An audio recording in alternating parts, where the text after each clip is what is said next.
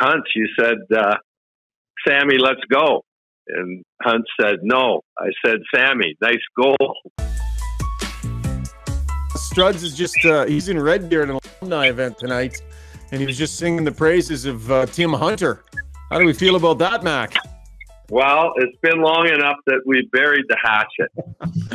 the play goes down into Calgary's end, and Mank goes to the net with a stick on the ice, and Gretz lays it over to Semenk, and he puts it in the empty net. He goes back to the face-off circle, and uh, the puck drops. He's lined up against Tim Hunter. Uh, dropped the gloves and uh, kicked the crap out of Tim Hunter, and they both go to the penalty box. And uh, Tim Hunter yells over to Semenk, "You know, Sammy, what'd you do that for?" Hunt, you said, uh, "Sammy, let's go." And Hunt said, No. I said, Sammy, nice goal.